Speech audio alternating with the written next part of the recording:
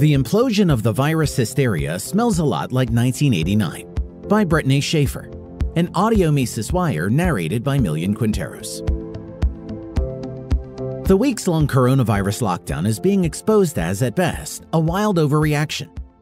Americans are starting to protest the destruction of their economy, the loss of their jobs, and the attacks on their basic constitutional rights.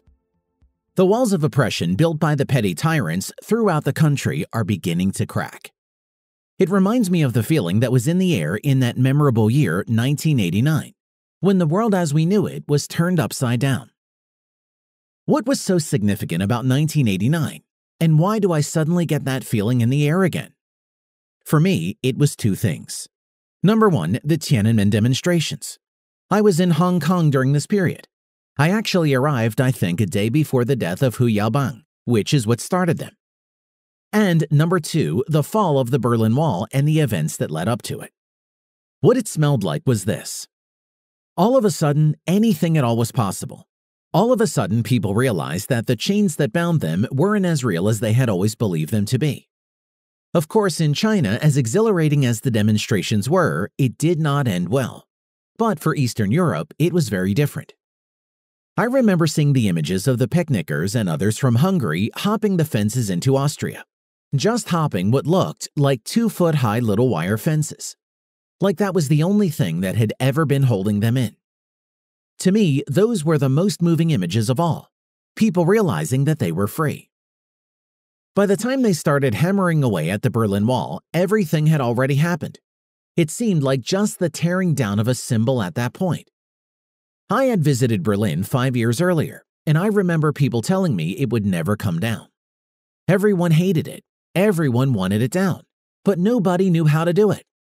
And there seemed to be a widespread acceptance that there was nothing they could do about it. Until there was. That's what this feels like now.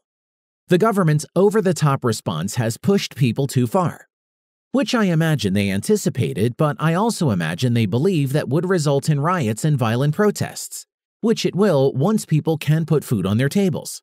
But we're not there yet. But instead of rioting in the streets, people are engaged in peaceful protests. And more importantly, they are starting to simply defy the orders. Businesses, churches, and even some schools are starting to open up again in blatant disregard for the orders they have been given. They are ignoring the state. There is more of this coming, and the more people who do it, the more are emboldened to.